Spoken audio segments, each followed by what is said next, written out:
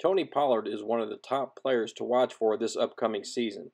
He had four kickoff returns for touchdowns and averaged a whopping 40 yards per kickoff return attempt. He also averaged 14.9 receiving yards per game and 7.7 rushing yards per game last year. Watch out for Tony Pollard. Let's take a look at some of his highlights from last season.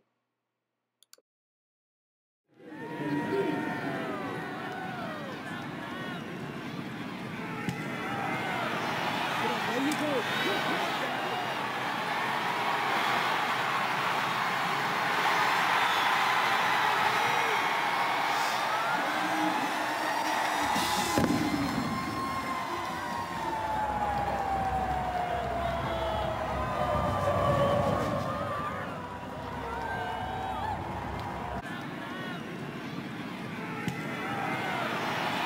you go.